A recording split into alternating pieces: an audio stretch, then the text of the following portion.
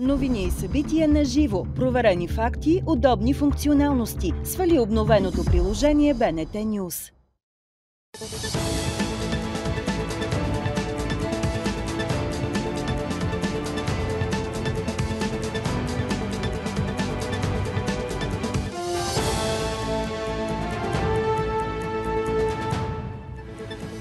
Това е посетил нас в 9 сутринта. Аз съм Румен Йовчев. Здравейте. Възможна грешка от страна на мексиканските власти може да е довела до връщането на наши сънародници от Мексико. Вероятната причина е и грешка при резервациите от страна на туроператорите. Това каза външният министр Николай Милков по повод кошмарното пътуване на наши сънародници до латиноамериканската държава. Там, както ви разказахме, те са били изолирани за няколко дни, а после върнати. Нотата, която е изпратена до Мексиканското външно министерство, все още няма отговор, но се очаква всеки момент да получим такъв. Външният ни министр смята, че въпреки всичко не е необходимо нашите туристи да анулират резервациите си за Мексико, но да се уверят, че нямат грешки в документите. Министър Милков коментира и напрежението между Република Северна Македония и България, което все повече се задълбочава след побоя над секретаря на Българския културен клуб в Охрид. По думите му, забраната за наши политици да влизат в страната цели да измести фокуса от езика на омразата. По отношение на, как да кажа, контратаката срещу Ангел Джамбаски и други наши тук политици, а, мисля, че това е сега част от някакъв нов наратив македонски, който се опитват да направи така, щото да се омалуважи първо атаката срещу българина, атаката, системните атаки срещу българските клубове и българските общности там, които ескалират. Започва работата на Народното събрание. В дневния ред на депутатите е и механизмът за разследване на главния прокурор. Той ще бъде разгледан на първо четене предвид малкото време, което остава на 48-то Народно събрание не е ясно дали законът ще може да мине през комисии и да влезе за повторно гласуване в парламента. Механизмът е един от законите, обвързани с препоръките към плана за възстановяване и развитие. Друг такъв закон, този за съдебната власт, не можа да влезе за разглеждане вчера. От света.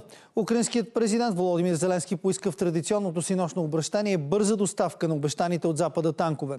Призивът идва след като Съединените американски щати и Германия обявиха, че ще изпратят 31 танкове Abrams и 14 Леопард. Очаква се да минат месеци преди западните танкове да бъдат на фронта. Съединените американски щати обявиха, че нямат излишни танкове в американската армия и такива трябва да бъдат закупени от частни собственици или от други държави. Германските танкове Леопард ще бъдат предоставени от Бундесфера.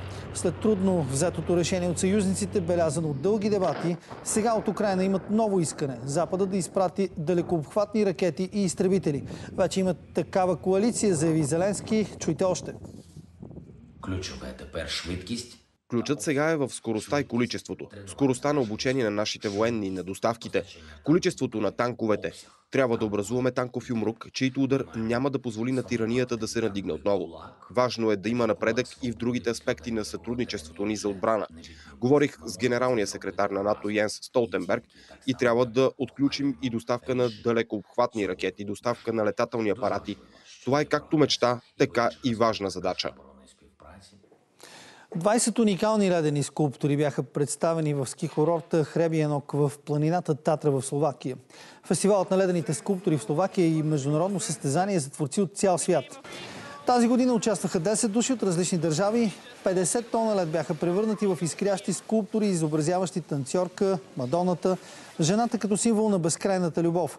Най-много посетители фестивалът привлича вечер, когато ледените фигури са отсветени в море от различни светлини.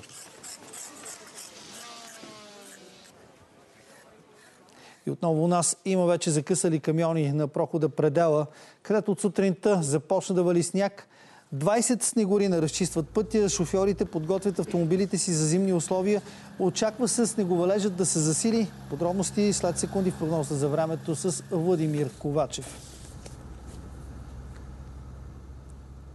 Новините в развитие следете и на сайта ни bnetnews.bg от екипа ни. Пожелание за хубав ден!